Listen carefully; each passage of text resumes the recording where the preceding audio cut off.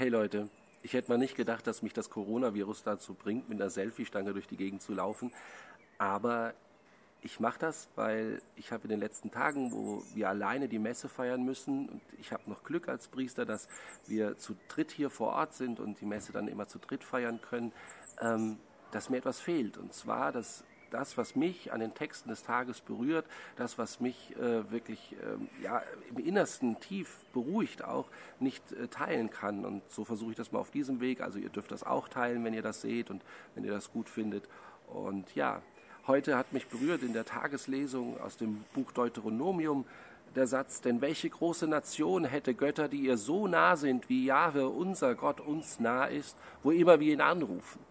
Und ich finde das genial, denn er ist uns nah. Er will uns nah sein, auch da, wo wir im Moment keine Gottesdienste in der Öffentlichkeit feiern können. Er will jedem von uns nah sein und das kann er und das will er und das könnt ihr auch spüren, wenn ihr euch ihm aussetzt, wenn ihr versucht, ein, zwei, dreimal am Tag zu beten. Es gibt mittlerweile so viele Angebote ähm, auf den Seiten de, der Bistümer, aber auch auf den Seiten eurer Pfarrei. Informiert euch.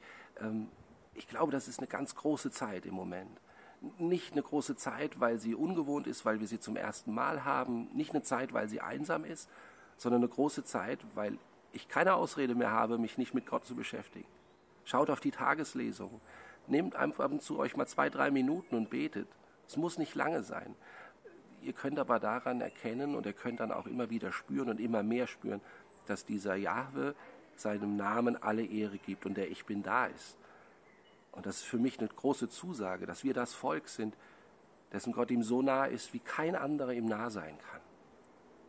Ich wünsche euch, dass ihr eine große Nähe zu Gott findet, denn die große Nähe zu Gott schafft Weisheit.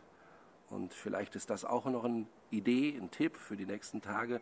Schaut nicht immer nur die Nachrichten, die euch sagen, wie viele Leute infiziert sind, sondern schaut vielleicht auch mal, wie viele Leute sind denn schon wieder gesund geworden es geht nicht immer nur darin, darum, dass wir uns das Schlechte äh, runterholen aus dem Internet, sondern es geht auch darum, dass wir einfach mal gucken, was war auch gut. Ich genieße zum Beispiel heute hier wunderbar äh, dieses Wetter und ich freue mich, dass hier vor unserem Kindergarten der Kirschbaum schon blüht und äh, die Sonnenstrahlen, die Sonne lacht mich an. Das genieße ich gerade und äh, ja, ich hoffe, dass ihr auch so Momente habt und dass ihr euch sie nehmt und dass ihr Gottes Nähe spürt.